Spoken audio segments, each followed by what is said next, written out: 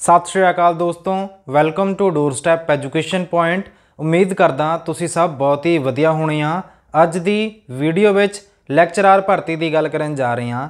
Lecturer ਭਰਤੀ 343 ਕਾਫੀ time ਤੋਂ ਇਸ ਰਿਕਰੂਟਮੈਂਟ ਦਾ ਜਿਹੜਾ ਇਸ਼ਤਿਹਾਰ ਸੀਗਾ ਜੀ, ਜਾਰੀ ਕੀਤਾ ਗਿਆ ਸੀਗਾ। ਬਟ ਟਾਈਮ ਟੂ ਟਾਈਮ ਇਹਦੇ ਵਿੱਚ ਕੁਝ ਅਪਡੇਟਸ ਵੇਖਣ ਨੂੰ ਮਿਲ ਰਹੇ ਸੀ। ਕਦੇ ਐਡਮਿਟ ਕਾਰਡ ਜਾਰੀ ਹੋ ਜਾਂਦੇ ਸੀਗੇ।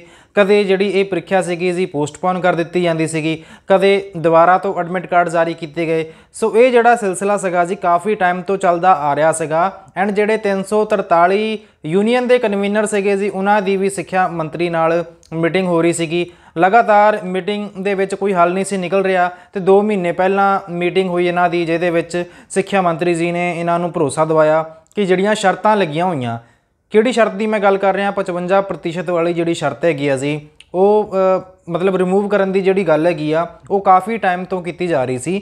ਸੋ ਫਾਈਨਲੀ ਇਨ 2 ਮਹੀਨੇ ਪਹਿਲਾਂ ਸਿੱਖਿਆ ਮੰਤਰੀ ਨੇ ਕਿਹਾ ਵੀ ਸੀਗਾ ਕਿ ਜਿਹੜੀ ਇਹ ਭਰਤੀ ਹੈਗੀ ਆ, ਇਹਨੂੰ ਰੱਦ ਕਰਨ ਤੋਂ ਬਾਅਦ ਜਿਹੜੀ ਨਵੀਂ ਭਰਤੀ ਲੈ ਕੇ ਆਵਾਂਗੇ ਉਹਦੇ ਵਿੱਚ ਜਿਹੜੀਆਂ ਸਬਜੈਕਟ ਟੀਚਰ ਦੀਆਂ ਜਿਹੜੀਆਂ ਵੈਕੈਂਸੀਜ਼ ਨੇ, ਉਹਨਾਂ ਦੀ ਜਿਹੜੀ ਗਿਣਤੀ ਹੋਊਗੀ ਜੀ, ਉਹਦੇ ਵਿੱਚ ਕਾਫੀ ਜ਼ਿਆਦਾ ਵਾਧਾ ਤੁਹਾਨੂੰ ਵੇਖਣ ਨੂੰ ਮਿਲ ਸਕਦਾ ਆ। ਸੋ ਇਹ ਤਾਂ ਕੱਲੀਆਂ 343 ਲੈਕਚਰਰ ਦੀਆਂ ਵੈਕੈਂਸੀਜ਼ ਵੇਖਣ ਨੂੰ ਮਿਲਦੀਆਂ ਸੀਗੀਆਂ ਬਟ ਆਉਣ ਵਾਲੇ ਟਾਈਮ ਦੇ ਵਿੱਚ, ਜਿਵੇਂ ਕਿ ਐਜੂਕੇਸ਼ਨ ਮਿਨਿਸਟਰ ਨੇ ਕਿਹਾ ਹੀ ਹੋਇਆ ਕਿ ਆਉਣ ਵਾਲੇ ਟਾਈਮ ਦੇ ਵਿੱਚ ਪਹਿਲੀ ਗੱਲ ਤਾਂ ਜਿਹੜੀ 55% ਵਾਲੀ ਜਿਹੜੀ ਸ਼ਰਤ ਹੈਗੀ ਆ ਜੀ, ਉਹ ਰਿਮੂਵ ਕੀਤੀ ਜਾਊਗੀ ਐਂਡ ਇਸ ਦੇ ਨਾਲ ਨਾਲ ਜਿਹੜੀ ਗਿਣਤੀ ਹੈਗੀ ਆ ਜਿਹੜੀ ਰਿਕਰੂਟਮੈਂਟ ਦੀ ਆਪਾਂ ਗੱਲ ਕਰ ਰਹੇ ਹਾਂ, ਕਿ ਜਿਹੜੀਆਂ ਵੈਕੈਂਸੀਜ਼ ਹੋਣਗੀਆਂ, ਖਾਲੀ ਅਸਾਮੀਆਂ ਹੋਣਗੀਆਂ, ਉਹਨਾਂ ਦੀ ਜਿਹੜੀ ਗਿਣਤੀ ਹੈਗੀ ਆ ਜੀ, ਉਹ ਵੀ ਤੁਹਾਨੂੰ ਵੱਧ ਵੇਖਣ ਨੂੰ ਮਿਲੂਗੀ। ਆਲਦੋ ਇਹ ਜਿਹੜੀ ਨਿਊਜ਼ ਹੈਗੀ ਆ ਜੀ, ਇਹ ਕੱਲ ਦੀ ਨਿਊਜ਼ ਹੈਗੀ ਆ ਬਟ ਆਪਾਂ ਅੱਜ 7 ਨਵੰਬਰ ਨੂੰ ਵੀਡੀਓ ਰਿਕਾਰਡ ਕਰ ਰਹੇ ਹਾਂ। ਐਂਡ ਇਸ ਤੋਂ ਪਹਿਲਾਂ ਵੀ ਆਪਾਂ ਟਾਈਮ ਟੂ ਟਾਈਮ ਜਿਹੜੀ ਵੀ ਐਜੂਕੇਸ਼ਨ ਡਿਪਾਰਟਮੈਂਟ ਵੱਲੋਂ ਅਪਡੇਟ ਜਾਰੀ ਕੀਤੀ ਜਾਂਦੀ ਸੀਗੀ ਜੀ, ਉਹਦੇ ਬਾਰੇ ਆਪਾਂ ਤੁਹਾਨੂੰ ਦੱਸਦੇ ਰਹੇ ਹਾਂ।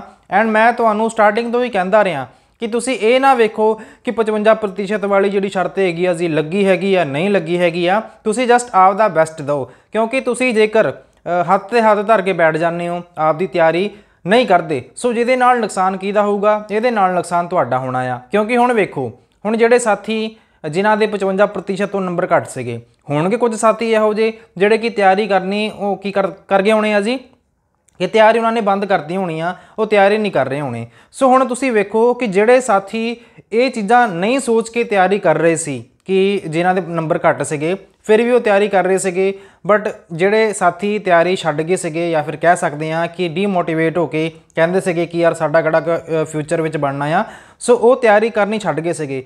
ਮੰਨ ਲਓ 2 ਮਹੀਨਿਆਂ ਨੂੰ ਮਹੀਨੇ ਨੂੰ ਤੁਹਾਡਾ ਰਿਕਰੂਟਮੈਂਟ ਦਾ ਜਿਹੜਾ ਨੋਟੀਫਿਕੇਸ਼ਨ ਹੈ ਜੀ, ਜਾਰੀ ਕਰ ਦਿੱਤਾ ਜਾਂਦਾ। ਸੋ ਨੁਕਸਾਨ ਕਿਹਦਾ ਹੋਊਗਾ? ਹੁਣ ਤੁਸੀਂ ਆਪ ਸੋਚੋ ਜਿਹੜਾ ਕਾਫੀ ਟਾਈਮ ਤੋਂ ਤਿਆਰੀ ਕਰ ਰਿਹਾ ਸਿਲੈਕਸ਼ਨ ਉਹਦੀ ਹੋਊਗੀ ਜਾਂ ਫਿਰ ਜਿਹੜਾ ਹੁਣ ਮਹੀਨੇ ਦੇ ਵਿੱਚ ਤਿਆਰੀ ਕਰਨੀ ਸਟਾਰਟ ਕਰੂਗਾ, ਉਹਦੀ ਸਿਲੈਕਸ਼ਨ ਹੋਊਗੀ।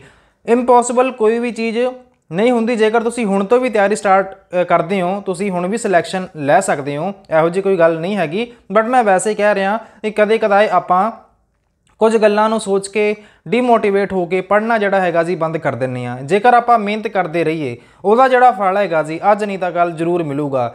ਆਪਾਂ ਸੋਚਦੇ ਆ ਨਾ ਕਿ ਕੋਈ ਐਗਜ਼ਾਮ ਜੇ ਫਿਲ ਕਰਤਾ, ਕਾਫੀ ਸਾਰੇ ਸਟੂਡੈਂਟ ਤਾਂ ਐਵੇਂ ਪੇਪਰ ਦੇ ਆਉਂਦੇ ਆ, ਉਹਨਾਂ ਦਾ ਸਿਲੈਕਸ਼ਨ ਕਿੱਥੋਂ ਹੋ ਜਾਊਗਾ? ਜਿਹੜੇ ਸਾਥੀ ਇੰਨੇ ਟਾਈਮ ਤੋਂ ਦਿਨ ਰਾਤ ਇੱਕ ਕਰ ਰਹੇ ਆ, ਉਹਨਾਂ ਦੀ ਸਿਲੈਕਸ਼ਨ ਹੋਊਗੀ ਕਿ ਜਿਹੜੇ ਸਾਥੀ ਬਸ ਇੱਕ ਦੋ ਮਹੀਨੇ ਪਹਿਲਾਂ ਪੜਨਾ ਸਟਾਰਟ ਕਰ ਦੇਣ, ਉਹਨਾਂ ਦੀ ਸਿਲੈਕਸ਼ਨ ਹੋਊਗੀ। ਸੋ ਅਜੇ ਵੀ ਤੁਹਾਡੇ ਕੋਲ ਟਾਈਮ ਹੈਗਾ ਆ। ਡੀਮੋਟੀਵੇਟ ਕਿਸੇ ਵੀ ਗੱਲ ਨੂੰ ਲੈ ਕੇ ਨਾ ਹੋਇਆ ਕਰੋ। ਜਸਟ ਆਪ ਦੀ ਮਿਹਨਤ ਕਰਦੇ ਰਿਹਾ ਕਰੋ। ਮੈਂ ਅਕਸਰ ਕਹਿੰਦਾ ਹੁੰਨਾ ਕਿ ਜਦੋਂ ਤੱਕ ਤੁਹਾਡੀ ਉਮਰ ਹੈਗੀ ਆ ਫਾਰਮ ਫਿਲ ਕਰਨ ਦੀ, ਉਦੋਂ ਤੱਕ ਤੁਸੀਂ ਕੋਈ ਵੀ ਜਿਹੜਾ ਫਾਰਮ ਹੈਗਾ ਜੀ, ਉਹ ਨਾ ਛੱਡੋ। ਹਰਿਆਣੇ ਵਿੱਚ ਕੋਈ ਪੇਪਰ ਆਉਂਦਾ ਆ, ਉਹ ਜ਼ਰੂਰ ਫਿਲ ਕਰੋ। ਜਿਵੇਂ ਐਚਟੈਟ ਆਇਆ ਹੋਇਆ ਐਚਟੈਟ ਤੁਸੀਂ ਜ਼ਰੂਰ ਭਰੋ। ਹਰਿਆਣਾ ਟੈਟ ਜਿਵੇਂ ਕਿ ਪੰਜਾਬ ਦੇ ਵਿੱਚ ਵੀ ਕਾਫੀ ਸਾਰੇ ਹਰਿਆਣਾ ਵਾਲੇ ਜੇ ਕੈਂਡੀਡੇਟ ਲੱਗ ਸਕਦੇ ਆ ਤੇ ਤੁਸੀਂ ਪੰਜਾਬ ਵਾਲੇ ਹਰਿਆਣੇ ਵਿੱਚ ਜਾ ਕੇ ਕਿਉਂ ਨਹੀਂ ਜੌਬ ਕਰ ਸਕਦੇ? ਸੋ ਤੁਸੀਂ ਵੇਖੋ, ਨਾਲੇ ਹਰਿਆਣੇ ਦਾ ਜਿਹੜਾ ਅਟੈਟ ਹੋਣਾ ਆ, ਉਹ ਵੀ ਪੰਚਕੁੱਲੇ ਹੋ ਜਾਣਾ, ਚੰਡੀਗੜ੍ਹ ਦੇ ਨਾਲ ਹੀ ਹੈਗਾ ਆ। ਸੋ ਇਸੇ ਤਰ੍ਹਾਂ ਹੀ ਚੰਡੀਗੜ੍ਹ ਦੇ ਵਿੱਚ ਕੋਈ ਪ੍ਰੀਖਿਆ ਆਉਂਦੀ ਹੈ ਜਿਵੇਂ ਕਿ ਜੀਬੀਟੀ ਦੀ ਪੀਜੀਟੀ ਦੀ ਜਾਂ ਫਿਰ ਟੀਜੀਟੀ ਜਾਂ ਟੀਜੀਟੀ ਦੀਆਂ ਜਿਹੜੀਆਂ ਵੈਕੈਂਸੀਜ਼ ਆਉਂਦੀਆਂ ਨੇ, ਉਹਨਾਂ ਵਿੱਚ ਤੁਸੀਂ ਅਪਲਾਈ ਕਰ ਸਕਦੇ ਹੋ, ਉਹਦੇ ਲਈ ਤੁਹਾਡੇ ਕੋਲ ਸੀਟੈਟ ਹੋਣਾ ਚਾਹੀਦਾ। ਪੀਜੀਟੀ ਲਈ ਤਾਂ ਨਹੀਂ ਬਟ ਜੀਬੀਟੀ ਜਾਂ ਫਿਰ ਟੀਜੀਟੀ ਲਈ ਤੁਹਾਡੇ ਕੋਲ ਸੀਟੈਟ ਦਾ ਪੇਪਰ ਜਿਹੜਾ ਹੈਗਾ ਜੀ ਪਾਸ ਹੋਣਾ ਚਾਹੀਦਾ ਆ। ਸੀਟੈਟ ਦੇ ਫਾਰਮ ਵੀ ਆਏ ਹੋਏ ਆ। 23 ਨਵੰਬਰ ਲਾਸਟ ਡੇਟ ਹੈਗੀ ਆ, ਸੋ ਤੁਸੀਂ ਸੀਟੈਟ ਵਾਲੇ ਪਾਸੇ ਵੀ ਤਿਆਰੀ ਕਰ ਸਕਦੇ ਹੋ। ਓਪਰਚੁਨਿਟੀਆਂ ਤੁਹਾਡੇ ਕੋਲ ਹੈਗੀਆਂ ਨੇ, ਬਸ ਕਮੀ ਹੈਗੀ ਆ ਮਿਹਨਤ ਕਰਨ ਦੀ, ਜਿਹੜੀ ਕਿ ਤੁਸੀਂ ਆਪ ਕਰਨੀ ਹੈਗੀ ਆ। ਸੋ ਆਪਾਂ ਗੱਲ ਕਰ ਰਹੇ ਸੀਗੇ 300 343 ਲੈਕਚਰ ਰਿਕਰੂਟਮੈਂਟ ਦੀ, ਜਿਹਦੀ ਭਰਤੀ ਰੱਦ ਹੋ ਚੁੱਕੀ ਆ, ਤੇ ਆਉਣ ਵਾਲੇ ਟਾਈਮ ਦੇ ਵਿੱਚ ਮੈਂ ਸਟਾਰਟਿੰਗ ਦੇ ਵਿੱਚ ਹੀ ਕਿਹਾ ਸੀਗਾ ਕਿ ਜ਼ਿਆਦਾ ਵੈਕੈਂਸੀਜ਼ ਵੇਖਣ ਨੂੰ ਮਿਲ ਸਕਦੀਆਂ ਨੇ। ਸੋ ਜਿਹੜੇ ਸਾਥੀ ਇੰਨੇ ਟਾਈਮ ਤੋਂ ਬੈਠੇ ਸੀਗੇ ਕਿ ਸਰ ਪਤਾ ਨਹੀਂ ਕੀ ਹੋਣਾ ਆ 55% ਵਾਲੀ ਸ਼ਰਤ ਲੱਗੂਗੀ ਕਿ ਨਹੀਂ ਲੱਗੂਗੀ। ਸੋ ਇਹ ਸਾਰੀਆਂ ਜਿਹੜੀਆਂ ਸ਼ਰਤਾਂ ਨੇ, ਇਹ ਰਿਮੂਵ ਹੋ ਜਾਣਗੀਆਂ ਐਂਡ ਤੁਸੀਂ ਆਪ ਦੀ ਤਿਆਰੀ ਤੇ ਦੁਬਾਰਾ ਤੋਂ ਕਨਸੈਂਟਰੇਟ ਕਰੋ। Although sorry from my side ਕਿਉਂਕਿ ਮੈਂ ਵੀਡੀਓ ਬਣਾਉਣ ਦੇ ਵਿੱਚ ਲੇਟ ਹੋ ਗਿਆ, ਕੁਝ ਪਰਸਨਲਸ ਰੀਜ਼ਨ ਕਰਕੇ। ਸੋ ਇਹਦੇ ਲਈ ਮਾਫੀ। ਬਾਕੀ ਮੇਰੇ ਵੱਲੋਂ ਕੋਸ਼ਿਸ਼ ਰਹਿੰਦੀ ਆ ਕਿ ਕੋਈ ਵੀ ਜਿਹੜੀ ਅਪਡੇਟ ਹੈਗੀ ਆ, ਸਭ ਤੋਂ ਪਹਿਲਾਂ ਆਪਣੇ ਇਸ ਚੈਨਲ ਤੇ ਤੁਹਾਨੂੰ ਪ੍ਰੋਵਾਈਡ ਕਰਵਾਈ ਜਾਵੇ। ਸੋ ਜੇਕਰ ਤੁਸੀਂ ਆਪਣੇ ਇਸ ਚੈਨਲ ਤੇ ਨਵੇਂ ਹੋ, ਇਸ ਚੈਨਲ ਨੂੰ ਅਜੇ ਵੀ ਸਬਸਕ੍ਰਾਈਬ ਨਹੀਂ ਕੀਤਾ, ਤੇ ਚੈਨਲ ਤੇ ਜਿਹੜਾ ਸਬਸਕ੍ਰਾਈਬ ਬਟਨ ਹੋਏਗਾ ਜੀ, ਉਹਨੂੰ ਤੁਸੀਂ ਜਰੂਰ ਪ੍ਰੈਸ ਕਰ ਲਿਓ।